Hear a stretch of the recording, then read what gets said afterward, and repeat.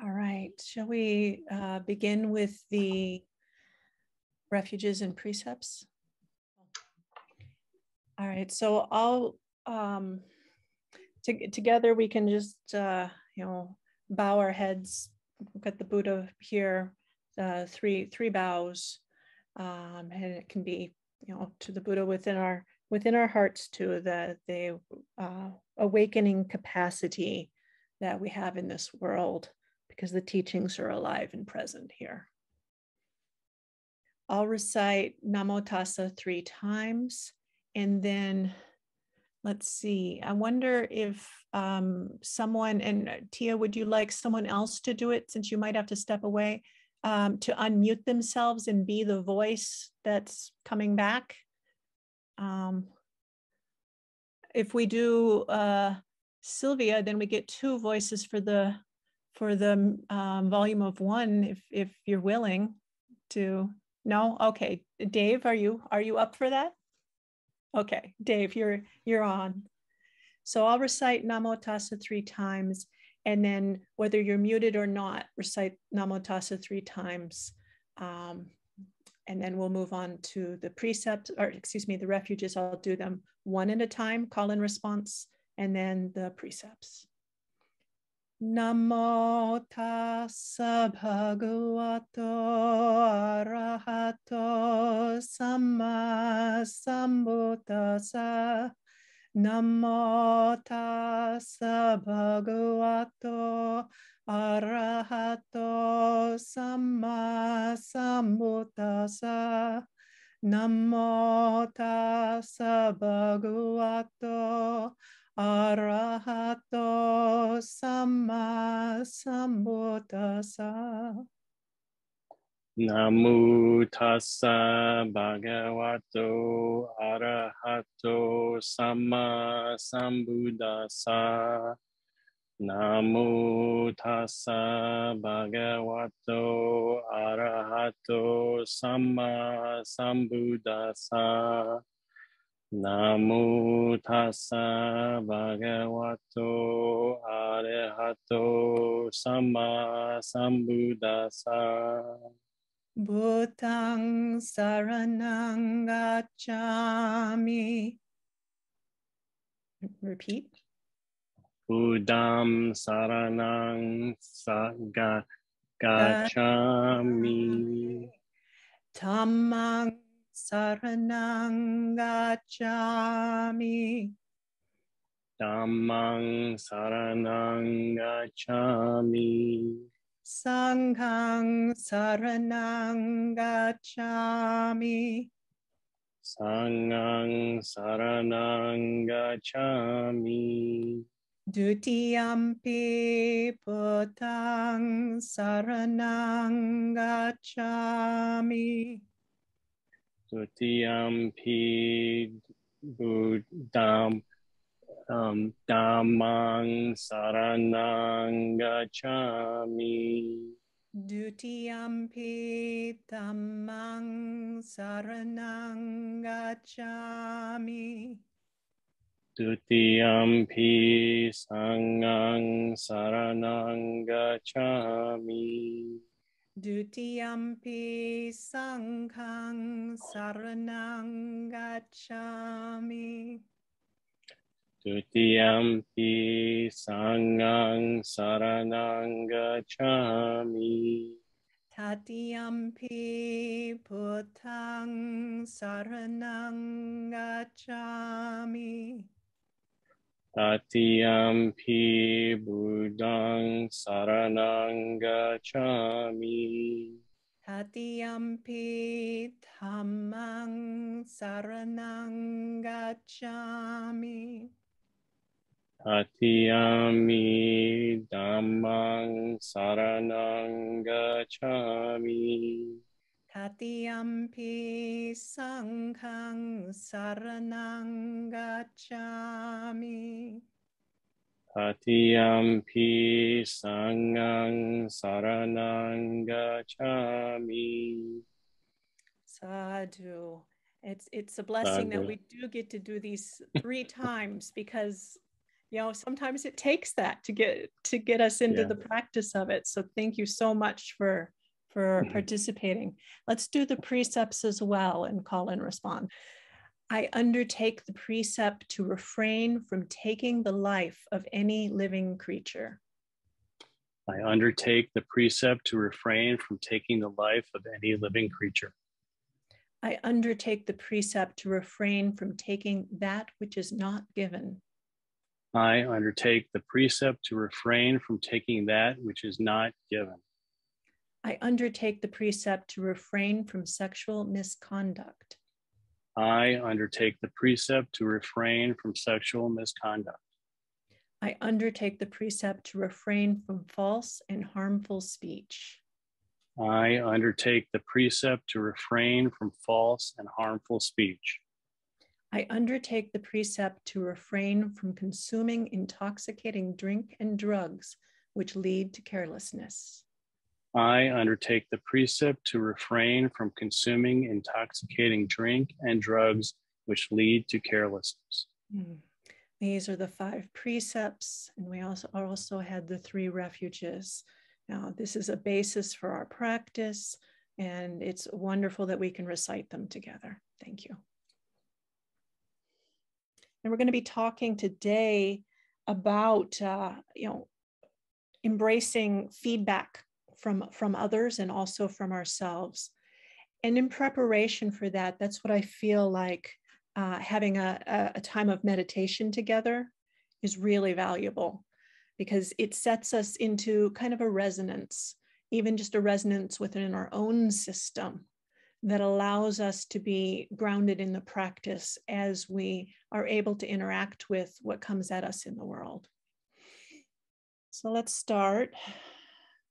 Maybe taking a breath or two all the way down to our sits bones to where we're contacting with our chairs or cushions.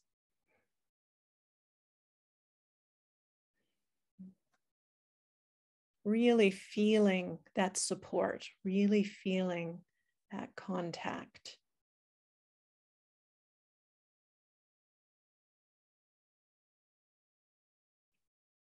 You're invited also to feel the length of the spine, maybe pulling up from the top of the head just a little bit, and then letting it kind of relax and settle in a very supported way, using the back of your chair or just the cushion underneath your buttocks.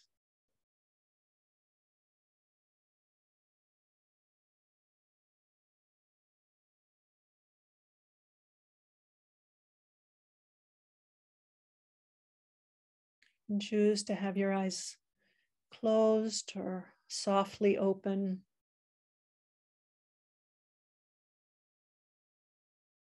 And if you ever have need, you can open them completely and, and look around your space and just connect through the eyes with the space that you're occupying now.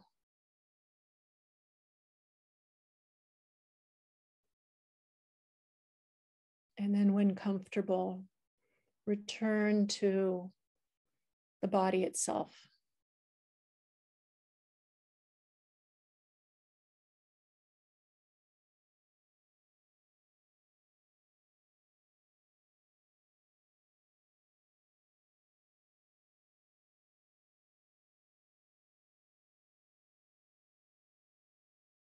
This body is truly our place of practice. It's the place we reach out to everything in the world, and it contains so much right within it.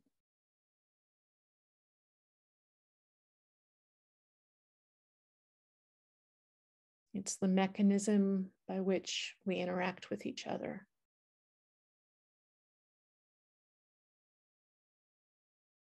So, this is our opportunity to really concentrate our attention on the body itself. What the sensations are.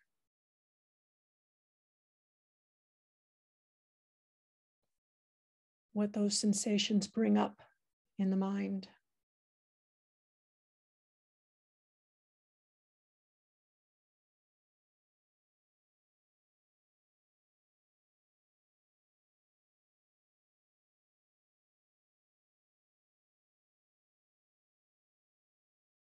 You're welcome to undertake whatever meditation practice is nourishing for you to settle and be present in the body.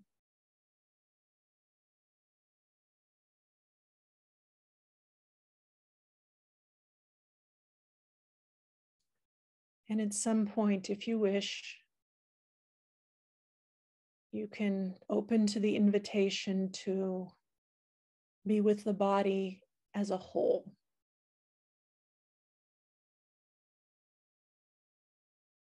Kind of an open awareness of the space the body takes up.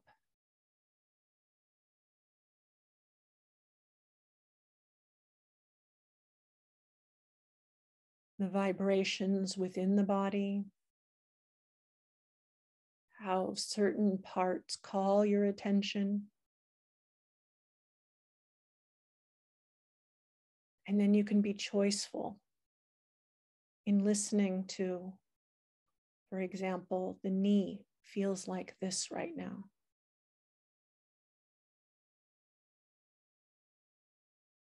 And then reopening to the open awareness of the body as a whole.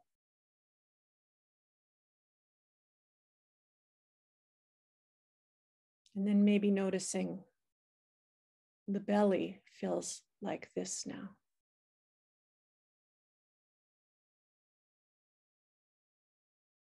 This can be a more active practice that, for those of us who have just come from lunch, may find supportive.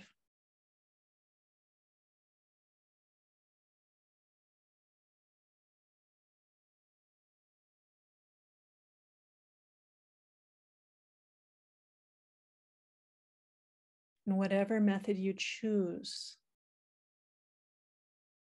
I invite you to do it with a gentle curiosity. How is the body right now? Accepting how the body is right now. Loving the body's capacity to do what bodies do and be our teacher. Gentle curiosity.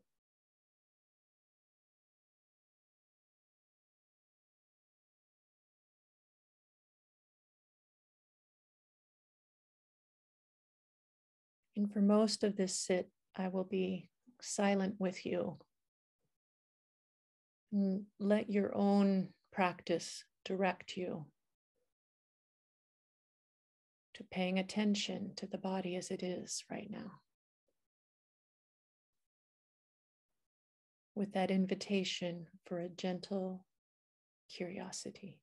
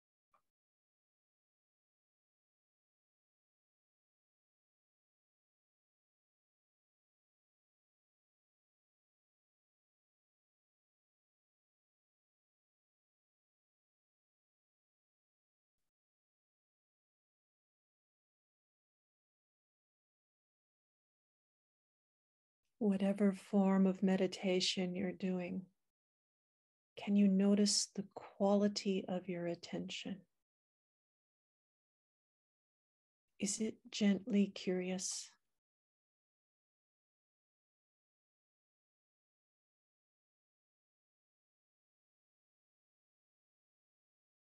Is it softly attentive?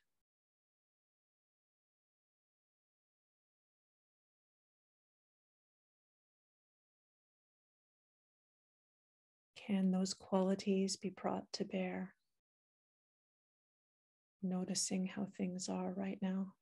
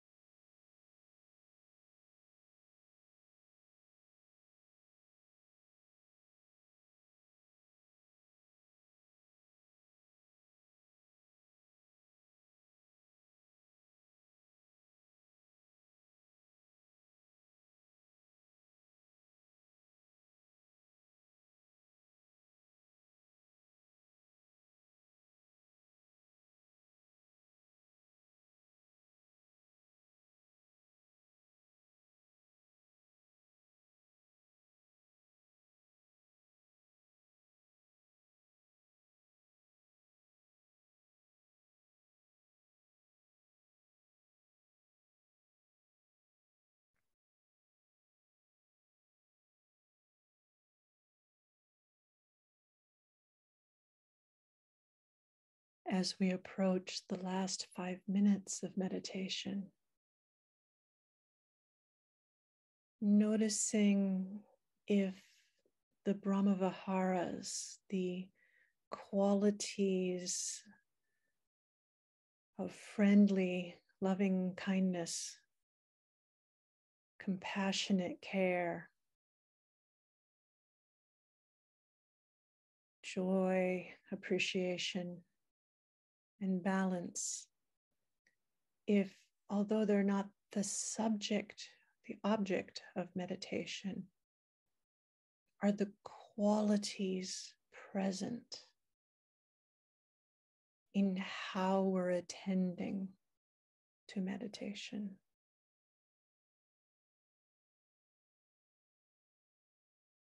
And if they are, if you feel that friendliness, that care, or resonant joy or balance, give it some attention, the quality of meeting things as they are with this expansive heart.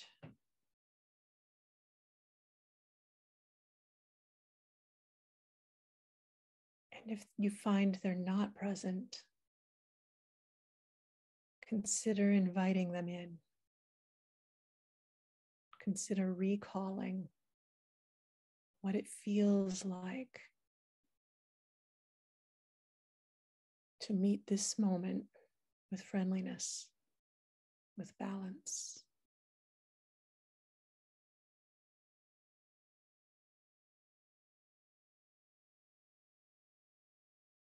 Hold this moment with care and resonant joy.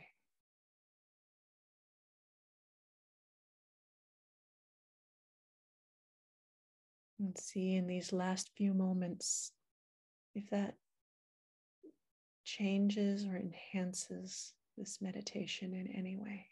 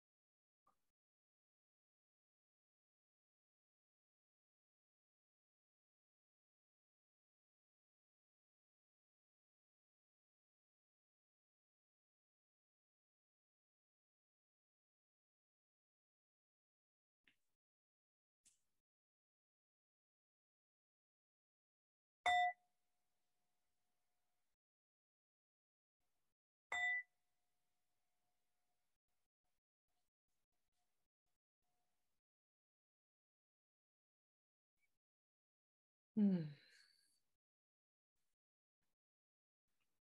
We still have a nice small group. Uh, means there's space for any comments on this meditation practice. Is there anything that came up for you in practicing in this way? Mm-hmm. Unmute yourself if, if you. Dave? I would just say that it that it felt lovely, just very calming, and um, um, I just felt very centered and and and connected. Mm-hmm. Mm-hmm.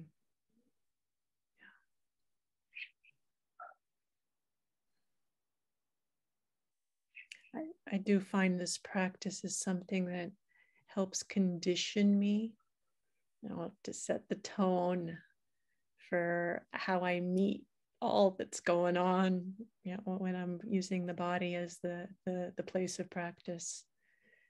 And then working from here helps me to you know kind of hold that centering as i meet other other bodies out there in the world. Any other comments or sharings good afternoon. My name is gina. Hi everybody. Nice seeing you here. Good. Nice sharing with you. I wanted to tell you um, Ayya that um, I'd, I'd like to hear what you think of this. When I meditate, especially nowadays, um, I find it very, very hard to keep my mind in my body. Um, there's a lot of anxiety mm-hmm. um, inside, and my mind drifts all the time. Mm-hmm. And I keep coming back and coming back, but still um, the anxiety doesn't subside easy mm-hmm. easily um, no matter what i do mm-hmm. what do you think mm-hmm. Oh i think uh, i think a lot uh, i would go to how do i feel? Um, how do i feel when that's happening to me? Because it definitely does.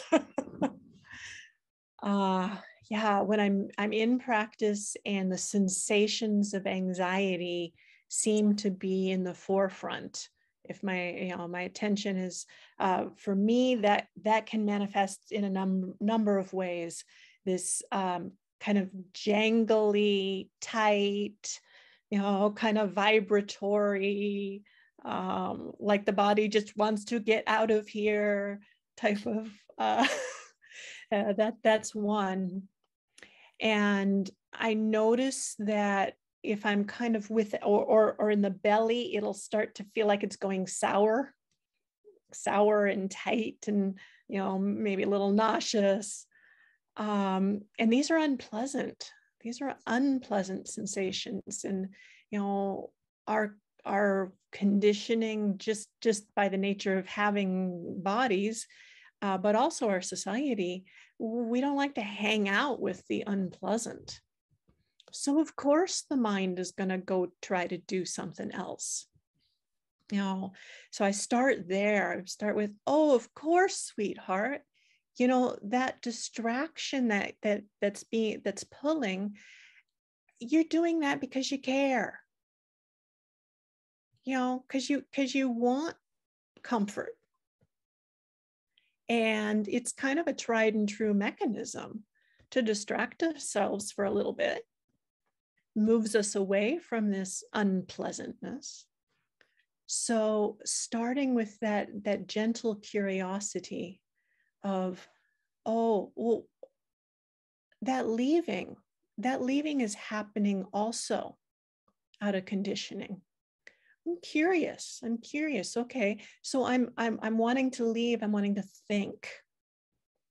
Now think about solving whatever might be behind why I'm anxious, or just think about anything to not be in the body. So the, these are things that come up for me. Is that first, am I in the ballpark? Or does it resonate? Very much. Okay. All right. So we're we're kind of in that same human aspect of dealing with this, this anxiety sensation, and the fact that we habitually don't want to be there. And so we'll do anything else. But we've kind of committed to staying on this cushion for this amount of time. And at least nobody really notices if I space out or go solve something you know so at least maybe i'm not disturbing other people you know i i can rationalize but when i try to to to notice like oh uh, there you go again okay sweetheart there you go what about this is permanent you know is there a permanentness in this sensation of anxiety, the, the vibrations, the tension, the souring? Is there a permanentness in this? And be kind of just curious, like, oh, is it always like that? I can see you shaking your head. No, it's not always like that. So, right there, that can give me a little relief. You know, just noticing. No, it's not always like that. Okay, so that's the impermanent um, door. Uh, and then I might apply the dukkha door. You know, it's like, is this pleasant? Is this unpleasant? Well, it's unpleasant. Is everything in this body unpleasant right now? No, no. Um, okay. You know what? It's not all like that. It's not like that all the time. So, but it it is unpleasant. And I can just acknowledge having a body with anxiety in it is unpleasant. And that also can help loosen it for me. It's just like, it's like this. Can I be okay with this? And if I can ask the question of myself, can I be okay with this? I've got enough bandwidth to be okay with it because I'm already, you know, you, you can't you can't come into that curiosity without already kind of being okay enough. And so it's like eh, giving myself credit oh sweetheart good girl good girl or or or or good good little one good boy whatever you know whatever term you want to put on it. You know it's like yeah you're still here. You know and then the not self. Um yeah that this for me I, I work with anxiety a lot these sensations are conditioned they're conditioned because I have a body. They're conditioned because I have a mind. They're conditioned because of how I was conditioned growing up, how I was conditioned as I uh, navigated the world, how I was conditioned as I looked back and judged myself. You know, all of these things conditioned me into these sensations right now. And you know i might be able to tend to them and do something about them but just the fact that it's it's not my fault. It's not you know, it is the causes and conditions that are manifesting. And i can take responsibility for continuing that pattern continuing that habit pattern but i also do it with a curiosity and a gentleness. It's like oh yeah we've been doing this for a long time because the conditioning has been doing this for a long time. And it's not really me, I'm just kind of caught up in it. Or I, you know, this is just caught up in it. And that also helps it soften for me that it's like, it's like this, it's not me. And I can take a breath and just be with it and be curious with it. So if I'm going to do thinking to distract myself, from the sensations, I try to do it in a way that I'm actually directing it back. Directing it back. So I did a whole lot of thinking there, which is what I wanted to do. But it helped me be present with that as well. And after a while, it's like, okay, well, maybe I'll just try to be with it again. And try that for a while until the mind starts to go off and go, oh, sweetheart, there you go. Know, How's that land? Thank you very much. Thank you. It's, uh, yes, it's very comprehensive what you just told me. It's it's deep and it's wide, and uh, thank you. I think it it helps a lot. I'm gonna. It, because exactly what you're saying is uh, it, it seems like a like a way of not quitting of the anxiety not like just closing my eyes to it and but mm-hmm. but but trying really to just learn to to to be to live with that uh, for the time it, it it's here with me and um, not be so maybe judgmental about it and, and afraid of it more, more mm-hmm. than anything afraid of it uh, afraid of the fact that it seems not to disappear now as it used to before mm-hmm. and it seems to be you know continually with me but mm-hmm. what you're saying about giving it it's like giving it space and and and just trying to relax with it that seems like a very good recipe thank you so much thank you yeah. Know what you're saying? That give it space and relax with it is is lovely.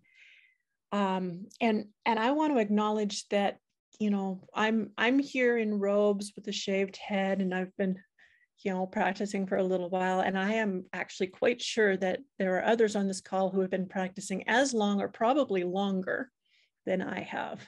So there's probably a lot of wisdom here and is there anyone else that would like to comment on these things, the, the calmness or, or what to do when the agitation arises?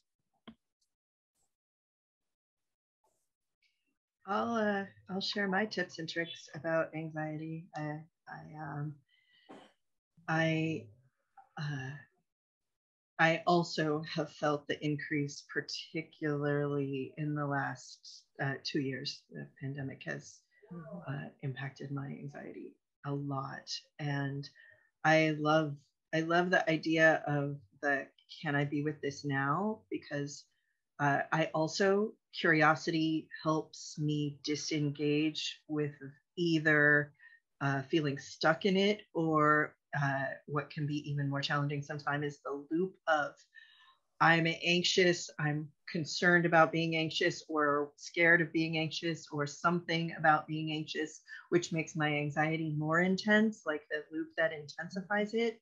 And any question, embodiment, uh, uh, uh, uh look around the room and pick five blue things, anything that I can do that disrupts that cycle or reminds me that I am in fact not stuck is phenomenal. So that can I do this now? And you know what? If the answer is no, then I'm going to go lie down for 5 minutes. Like what's my what am I what am I going to do, right? Doing something often does that. And sometimes it's a mental like what can I be curious about? Uh, uh, when can I remember that it wasn't like this? Those those are all super phenomenal for me over the last while uh, to to step off this the little hamster wheel. Yeah. I'll add on that embodiment piece, and then we'll we'll come to to Sylvia. Um, the with the embodiment, yes, there's that orienting practice of opening the eyes and looking around the room, and it can be finding five blue things. It can be just noticing the corners of the room you know, getting back in space. And then we can also, it start just being in, noticing the room also starts to especially if I turn my body a little bit to do it, it, it starts to bring me back into the body. And then I can intentionally kind of titrate, you know, go in a little bit, go out a little bit, go in a little bit, go out a little bit, back into to this. I'm I'm in this space there is a certain amount of safety in this space. And now, what's it like here? Let's pass it to uh, Sylvia. Okay. Um, I get anxious when I'm sometimes in bed and I, I cannot go to sleep. So uh, then I start getting very upset and nothing that I do helps to calm down. And then uh, what you say, which is like a little bit funny, my sweetheart, be, and I, th- I think that I do that while I'm trying to sleep or to relax. Mm-hmm. So I put myself in complete uh, savasana and relax, mm-hmm. relax totally. Mm-hmm. And if in, a, in an hour I'm not asleep, I get up, I get very nervous, and I say, it's not worthwhile. Why should you? I mean, you sleep well usually, so don't complain. And that helps a lot. Not I I'm a big complainer. I remember uh, my father saying, "Ah, oh, she complains. She knows how to complain." and then I say, "Oh, you know what? Life is not always easy.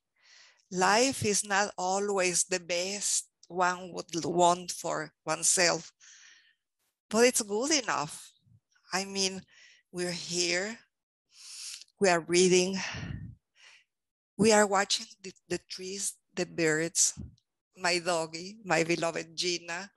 I, I so, sometimes I'm so grateful, so I should be more grateful, and maybe maybe less anxious. or or grateful that that anxiety is here as the teacher at this moment. Um, not grateful to remove the anxiety, just grateful that you've got the practice to be with it. And that practice might include lying in savasana, or it might include getting up. It might include giving that, you know, care to to yourself in that moment. Um, but the gratitude is is not a, a moving away; it's an embracing, and it really helps that curiosity to stay alive and gently present. Um, so I just offered that as just a slight tweak on what you said because what you were saying was so beautiful and responsive to you know what's present in you. Okay. Well shall we move into the the theme for today? I think this is a really good foundation for that. And having a small group is is wonderful because um, like I said, you know, I'm I'm in robes, but I'm I'm still pretty uh, pretty young in robes. Um, so um, there's uh, uh, this topic is is rich for me.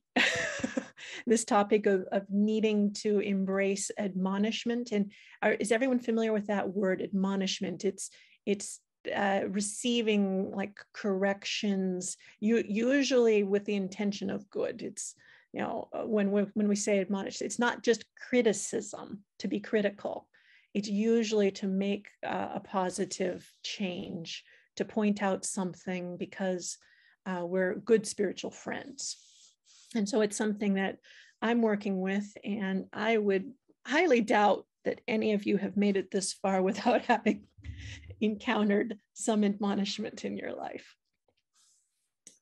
So, um, also with the, the sense that there is some collective wisdom here, please feel free to uh, insert your wisdom, that this not just be a talk, that this be a Dhamma exploration that we do together. Okay, so I'll start. And I'll, I'll start with a homage to, to the Buddha, just that th this is where the teachings come from. This is the gratitude that, you know, I want to express that um, this has come down to us.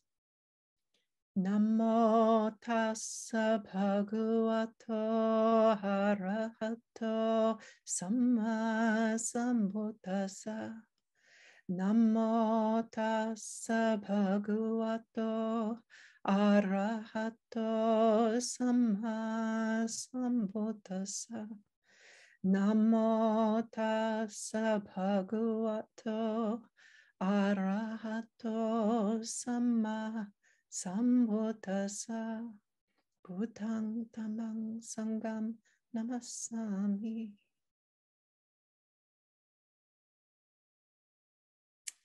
So I feel like the Buddha's teachings can really be our, our GPS system, uh, how, how to stay on the path. And maybe you know that probably all of us, while driving, we've used one of those GPS uh, apps or map applications to, to keep us on, on course. And when you've deviated from the course, it will it will say um, take a U-turn. or it will send you around the block to try and get you pointed back in the right direction. Well, I feel like Kalyanamitta, our spiritual friends, that, that that's that's our GPS. And they can help us also to stay on that path and they can alert us when we're deviating from the course that's you know leading in the direction that we've we've committed to when we as we took the uh, refuges and precepts earlier you know that that course so there's a real strength in having groups like this uh, living with living in community or near community having online community that can help give us feedback when we need to take a U-turn or go around the block. So I'm going to bring together several of the Buddha's teachings, uh, and I and I found kind of one flow for the course correction that's uh, got potential for an easeful way to that that calm, curious way of working with it. It's not a you know strong and rigid way. It's it, it's it's something I found um, I found can, can, I can do in an embodied way that because I do work a lot with anxiety that that that agitation has space and it, it doesn't cut me off from receiving correction. So I've come up with these three parts. We're going to set up to be able to receive correction. We're going to set the conditions so that we're primed to receive correction and then the act of receiving the correction or the feedback you know the admonishment or find find the words that work for you. Some of some of those words can be triggering. Find the word that can be the most um, held for you that you'll get value out of it. And then the third would be uh, how we respond to a correction or a, a feedback and admonishment. And i realized that that what actually happens in the world often has two parts receiving unsolicited criticism and then reacting.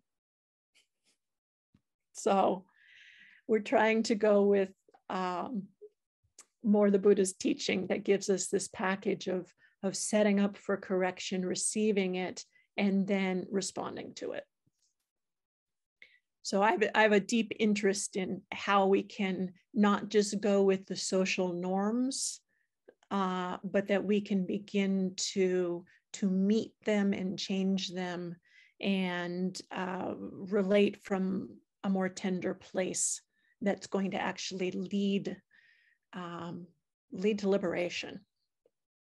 So let's first focus on, let's see, uh, why maybe setting it up we might we might want to know why do we want to receive admonishment. It's it's admonishment typically is painful. You know usually if we're getting correction or criticism or feedback uh what happens in the body? Uh you know there's a guarding. So knowing that there's a value in it will begin to help us to open up to it. Um, believing that it's useful, aligning our intention and inviting feedback. So that's where, where we're going, believe it. So on the, on the it's useful. Anguttara Nikaya 734 says, one with good friends, easy to admonish, reverential and respectful, such a one cannot fall away, but is close to Nibbana. So that's a pretty high statement for uh, why it would be useful to be easy to admonish, to be open to, to receiving feedback. It brings us uh, that we're not going to fall away from this path, and it brings us closer to Nibbana. And then um, this, I love this story in Anguttara 3 128. So this is the Buddha who's giving, who's going to give the feedback in this one.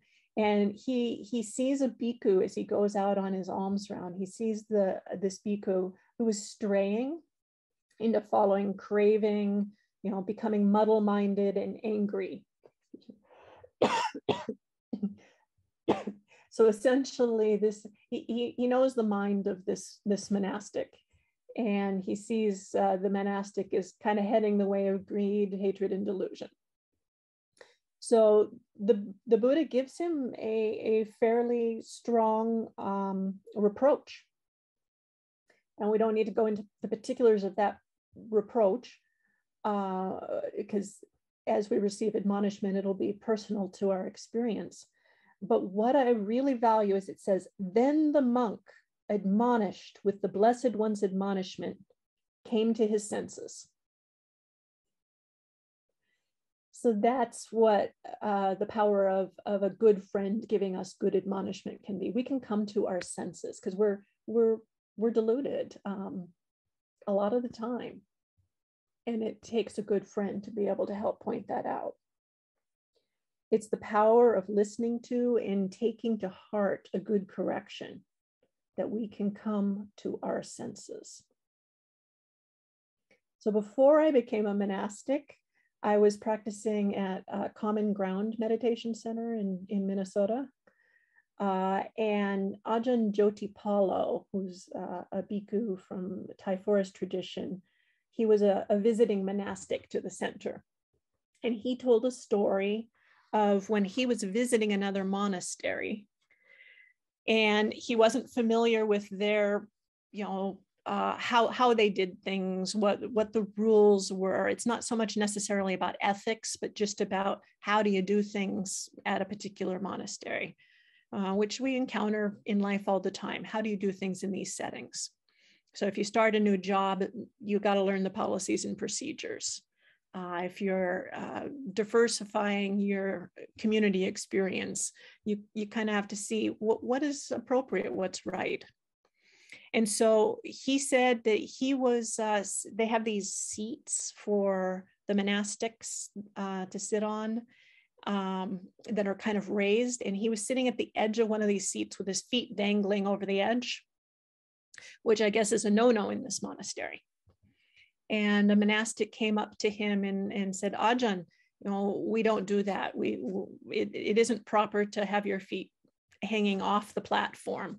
Uh, you should sit cross-legged or you should get off and stand.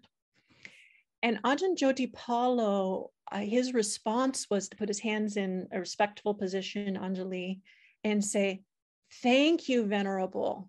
Please, if you see me doing anything else, please let me know. What an incredible response.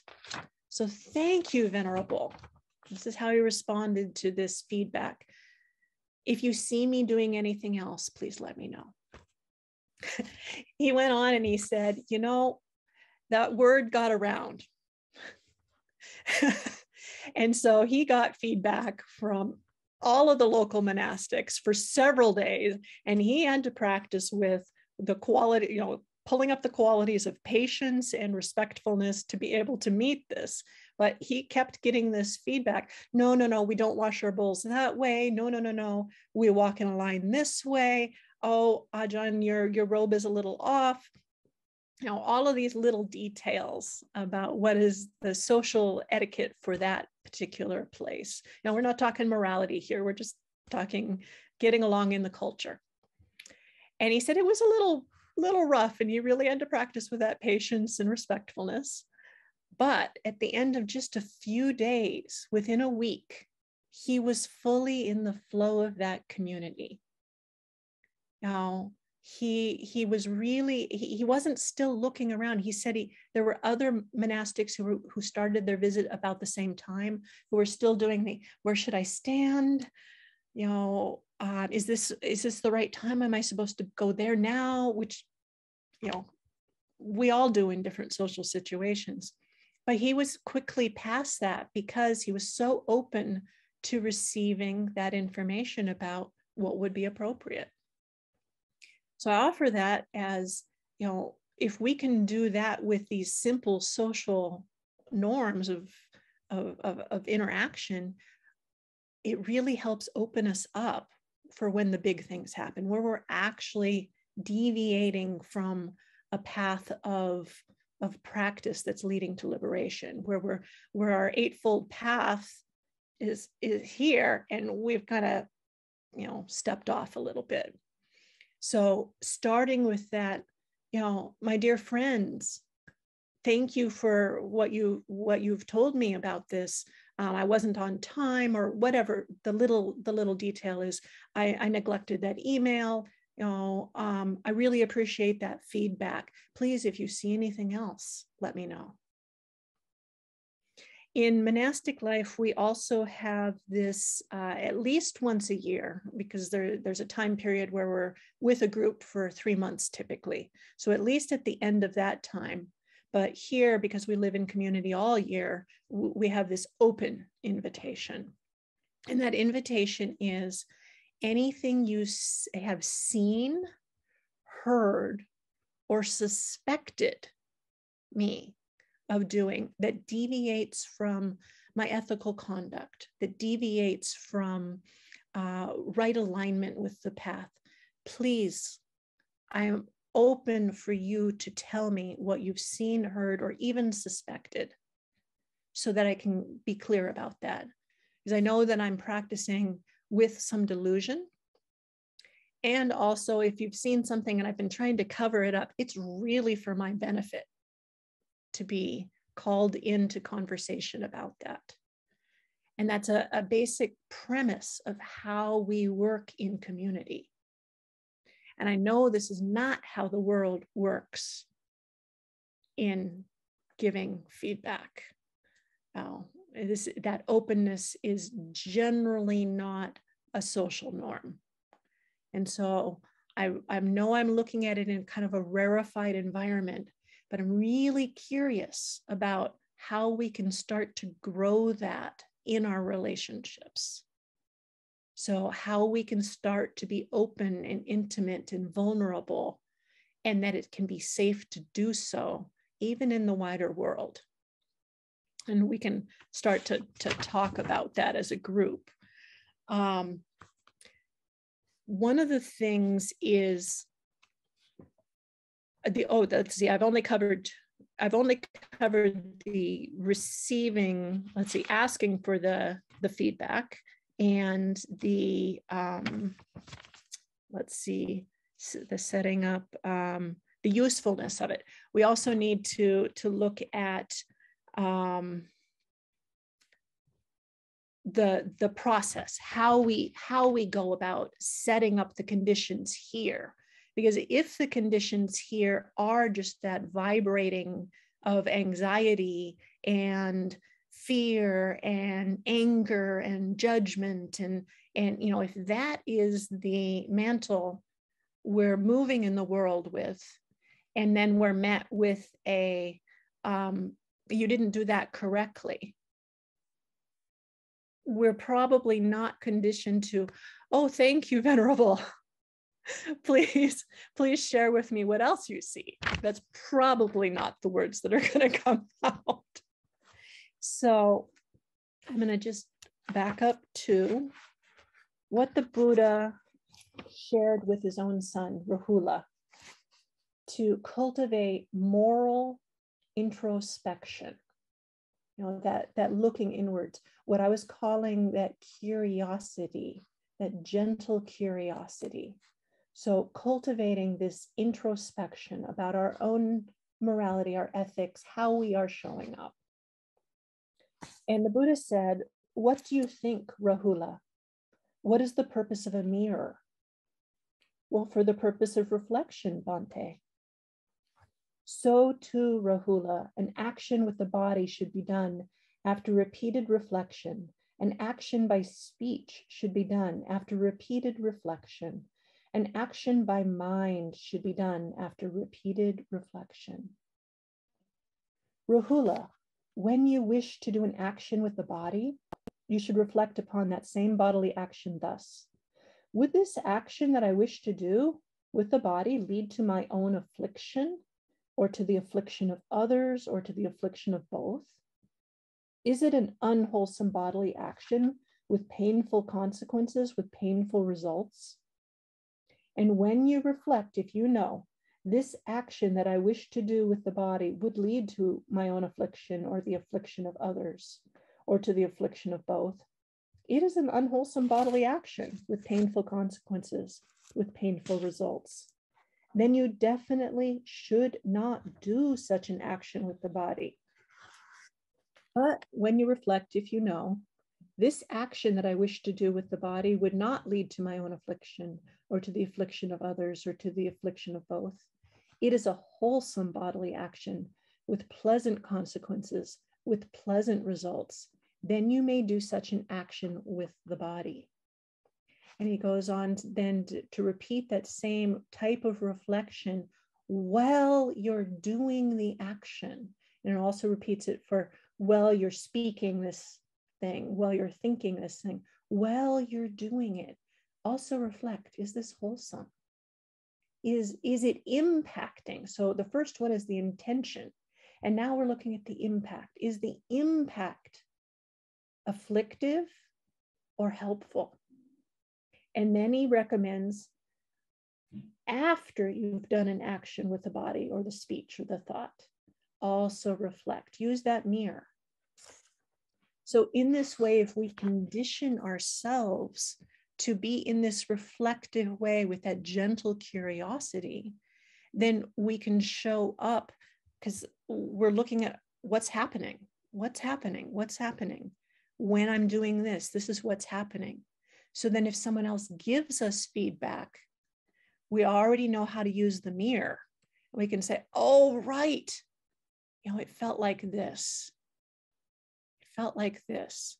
That didn't feel like a wholesome action. I would like to apologize. I'd like to make amends. So I wanted to open it up at this point where we're at the setting up to receive corrections. And we might have to go into the actual receiving and responding to them uh, at a different time where you can talk amongst yourself whenever you're, you're meeting again. Um, how, how do you set up so that when those corrections come, you're in a space to receive them and to actually put them to that use of, of what was the phrase, uh, coming to our senses.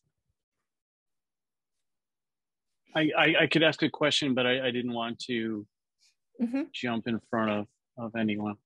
Um, uh, well, um, I, I was thinking when you were, when, um, when you were teaching about um, I was thinking about intention, and I, was thinking about um, uh, um, like holding on to views, and and how and how um, as far as intention is, I, I, I think that in a situation where I'm I'm in um, in a new community or um, uh, among people that I'm I'm not entirely familiar with, that um, what I want is to be in harmony with with with that, and and and to um, um, to not uh, to not be bound to to my my earlier views. So um, I think that I that I do very much want feedback on how I, I can be in harmony with with community, but I, I also know that I can feel um, agitation with with certain kinds of feedback, depending on on how it's presented, and and also my view of the person who's presenting it, mm-hmm. um, which has a lot to do with with with with my ego and you know I, I was also thinking about the value of noble friendship and and that when we do associate ourselves with um with with um um with with wise people or with people with with good and wholesome intentions that um, uh, uh, feedback given from a, a perspective of um, of uh, you know from from the perspective of the Brahma Viharas, even if it isn't, um, even if parts of it are are regrettable, that that the intention of it uh, as as being something uh, helpful um, is is easier to take. But then I was also thinking uh, um, um, that all this requires mindfulness, and that uh, you know I'm I'm I'm I'm studying um, I'm studying Satipatthana right now, and, and in particular, uh, the third one of mind. And in, in, in a class that I'm participating in, we were, we were talking about, you know, checking in with how, how is the mind and, and, and how, how to, how to keep uh, that perspective of, of, of being present and, and, and, and, perceiving how, how the mind is being affected. So I was, was and, and, and I'm struggling a little bit with that of you know being uh, absorbed with you know the outside object and also being in in communication with with my mind and and how is how is my mind mm-hmm. Well dave you're you're to me you're really like nailing the spectrum of experience and the the linchpin for for meeting it so you mentioned the intention for harmony you know bring being harmonious in the interaction uh, so you can acknowledge that my initial intention is wholesome. That's the part that Rahula did before he made the act. And then the not holding to our views is what allows us to be present and, and the mindfulness. So the sati and the not holding to the views, the mindfulness not holding to views is allows us in that moment to actually be gauging how is my action landing in the community that I have the intention of being harmonious with. But if we just hold to, well, that wasn't my intention. How many times have we said that or heard that? That wasn't my intention. You know, that closes the door to actually being present with because we're back in our intention. We need to be in that moment and flexible and curious. How is it actually landing when I do this action? And then the same with the reflection. And then in the middle of that, we may get feedback. We may get the feedback of, you know, when you said that, it felt like this, and that didn't feel good. And if we notice, oh, I have a view, this person's always complaining. It's like it doesn't matter what they just said because I'm stuck in my view. But if I can meet it with the curiosity and the, the holding my view lightly, then I have a chance to actually adjust my behavior or my thinking or my view based on that. Oh, you know what? Actually, when I say that, it's not landing the way I intended. And it maybe, you know what? I don't know that I have the skills to make it land differently. And it may be that they have a karma, they have uh, a trauma, they have an experience, their conditioning that no matter what I say, it's going to land on them in a way that I didn't intend. So all of that can be true. And when we're aware of it all possibly being true, it, it opens up the possibility for the correction to land in a way that I can respond in a way that's liberating for me and the person who's giving me the feedback. Is that? Yeah, it's yeah, just and, touching that. Yeah, yeah, it's like the exploration yeah. just beginning. it's very subtle. Yeah, Gina. Oops, unmute.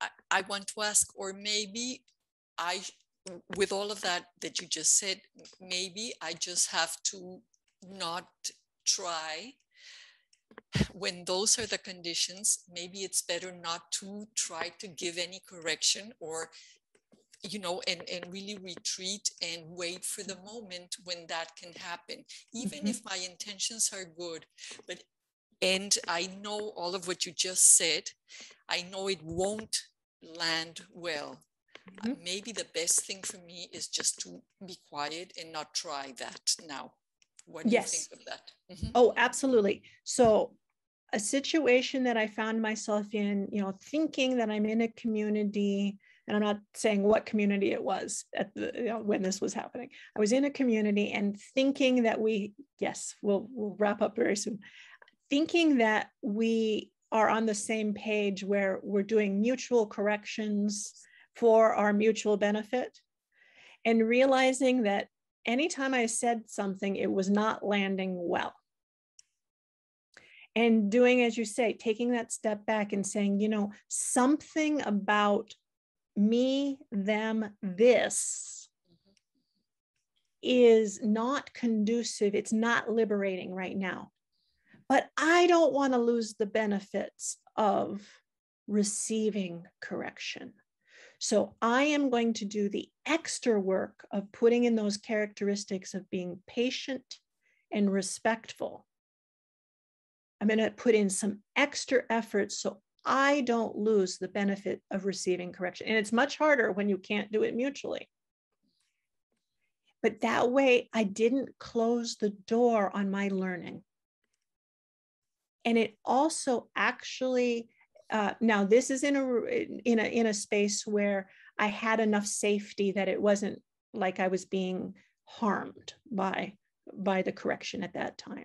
I had enough spaciousness to take care and, and to be able to hold that um, correction for my benefit. So I do want to just close with that as a, a, a wrapper. Do look for your safety.